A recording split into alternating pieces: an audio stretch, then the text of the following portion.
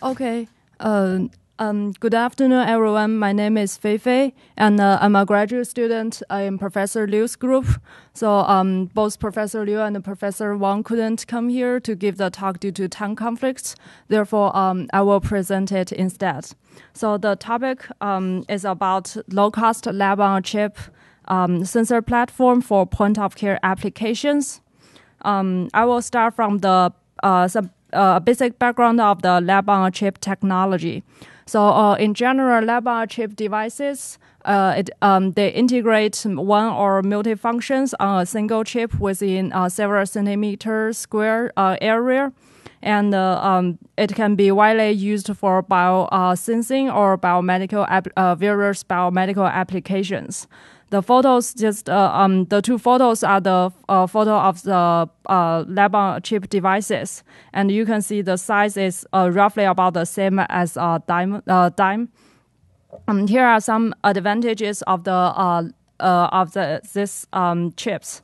So first, because it's very small, therefore the fluid volumes consumption is very low, and uh, also the uh, response time and the analysis time is fast.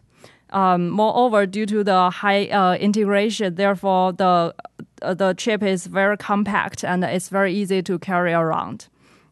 Uh, in the end, so if uh, we um, the fabrication cost could be low when uh, we produce it massively.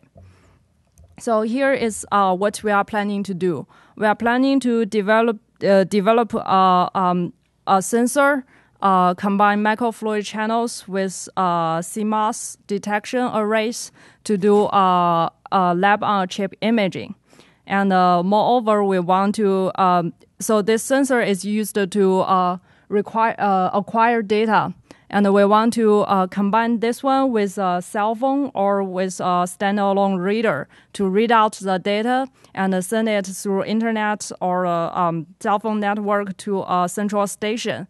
And the central station will do all the uh, imaging reconstruction and analysis and send a report to the uh, users by doing this, we can have all the advantages of the lab on a chip uh, sensor like the um, very low uh, fluid consumption and very compact. And we can also utilize the uh, very um, the power of the central station, like the computational power. It could be uh, process the image very fast. And by uh, uh, by doing this, uh, so we can um, this equipment can be used for point of care. Mm. Okay. Um, here are examples of uh, some uh, lab-on-chip imaging devices developed by other groups. Uh, figure A and Figure C are the devices developed by a group in Caltech, and basically they use uh, they utilize the different trans uh, transmittance of the objects, and uh, they use they use a uniform illumination and when the object flows through the microfluid channel at different area, it will uh, it will attenuate the light differently. Therefore, um, it will leave an image on the uh, CMOS sensor, and they do numerical reconstru- uh, numerical process of the image. They can acquire the 2D image of the objects, like uh, in Figure B and Figure D. So this is uh, another uh, type of device uh, developed by a group uh, in UCLA, and uh, basically they instead of using the trans, uh, tra- different transmitters in the object, they utilize digital holography. So um, the device in Figure A, they shine the light from different angles, and then record the um, digital holography on CCD by numerically reconstruct it, they can acquire the um, uh, 3D information of the object, like the position and the height of the object. Figure C is uh, another another type type of device devel- developed by the same group. They acquire 2D a 2D image, but because um, they combine uh, they combined compression sensing in the numerical algorithm, therefore they can acquire the subpixel resolution. So here is what uh, we want to do for. Um, so here is a uh, design for our structure. We also uh, want to utilize uh, LED illumination, and uh, um, we want to design some uh, uh, aperture, uh, some illumination mask, and to generate certain electric field within the channel. And the ob- the cells flow through the object microfluid channel, and we will have an image on the CMOS sensors. So um, basically, we want to use the image detected in the CMOS sensor to reconstruct the 3D image, or at least get some 3D information of the bio um, samples. Here is uh, um, some simulation results. So um, as you can see in figure B and figure C, if the object is at different position, the electric, uh, electric, the intensity will, uh, required on the bottom uh, are changed. And you can also think if we have different objects, the intensity at different uh, sensor at the sensor is also changed. Therefore, we want to um, record this intensity and based on this develop a numerical algorithm to get the 3D information of the object.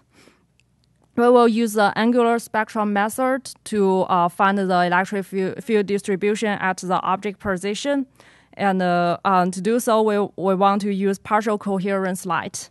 So first, it can um, uh, generate the holography uh, images, and also it can reduce the coherence noise in uh, in the reconstruction part. So um, we want to find the good illumination field in order uh, in order to get uh, more detailed uh, uh, to resolving the fine feature of the sample. And here is the fabrication part. So uh, the fabrication of the proof of con- concept device. So the uh, C- uh, CMOS sensor um, is on the bottom, and we have a gla- uh, we put a glass on top of the sensor, and then deposit either a metal film or a dielectric film. We use uh, uh, photolithography or e-beam lithography to fabricate the object, um, to fabricate the object as is shown in Figure B and then deposit a spacer layer SU8. Uh, after that, we um, get the um, use lithography to get the shape we want, and after that, we deposit another layer, as shown in Figure E. And then uh, use also use lithography to fabricate the uh, pattern we want on top of it. So finally, we will shine a light from the top, and the CMOS sensor will record the intensity on the bottom and we acquire the data, we, we will do a numerical reconstruction to get the images. So um, this is a current status. Uh, we developed the uh, image reconstruction code based on angular spectrum me- uh, method, and currently we are working on the illumination mask design. For the fabrication part, um, the Professor Wang student is working on the fabrication details. And the future work um, um, we will finish the design of the plasmonic mask and then fabricate a proof of concept of, uh, sample and uh, to uh, test our reconstruction code based on uh, an object we uh, we know exactly the shape and the size. And uh, after that, we will actually fabricate the microfluid channel with the CMOS sensor and flow through uh, flow living cells through it to um, do the 3D image reconstruction of living cells. And then we probably will um, explore the applications for um, uh, like blood cell counting, something like that, and then develop prototype device. Yeah. Thank you for your attention. Um, any questions?